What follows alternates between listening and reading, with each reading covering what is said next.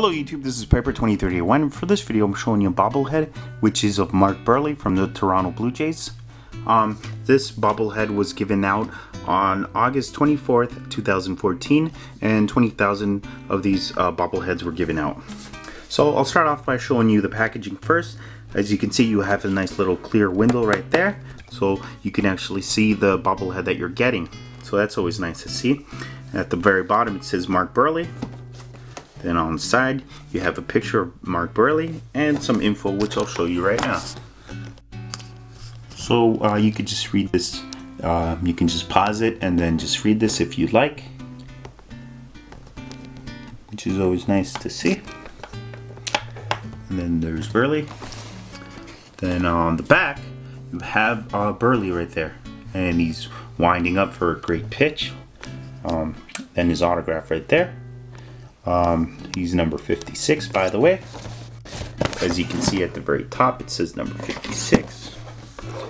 And then on the other side of the side of the box, you can see um, just the final stuff that they were giving out that year as a, a stadium giveaway, which was which was a warm winter hat giveaway. Unfortunately, I wasn't able to go to that game and didn't get that.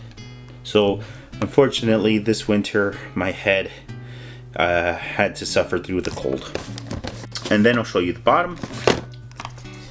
Um, currently, uh, the Blue Jays are using BDA um, uh, to make these bobbleheads, which I think um, they make the best bobbleheads, in my opinion. A lot of details and stuff.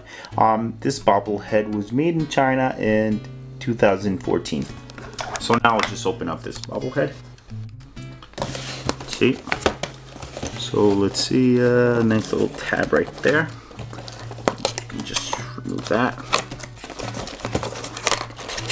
He's encased in this plastic, which I love. There's nothing else inside.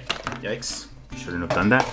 And yeah, so just remove that, and then you have Buehrle right there. So I'll give you a nice little shot right here, like that. So yeah, so there's Mark Buehrle. Um, I guess he has the uh, blue uh, uniform with white pants, a blue hat, which is nice. Um, at the very base, it says Toronto Blue Jays, so there wasn't a sponsor at the time for this, which I prefer. I don't like seeing those sponsors. And then at the very bottom, it says Mark Buehrle. Then the side, really cool back and his back now. nice. So now I'll just show you this bobblehead up close and I'll start off with the base. Once again at the very bottom you can see it says Mark Buehrle and um, although there's a little piece over here, extra piece that you know wasn't cleaned off, I'm not too concerned about that. Then at the top over here, just above that, you have the Toronto Blue Jays logo or font. And then something I always love about these bobbleheads is that they put the brands that these uh, players use. So over here you can see, you can clearly see the swoosh from Nike, and that's something I really like. See at the bottom of his um, cleat, not too many details there. And his white pants.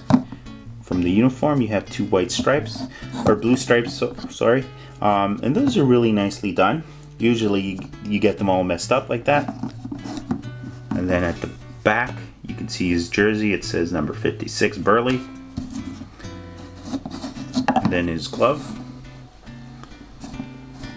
A black glove.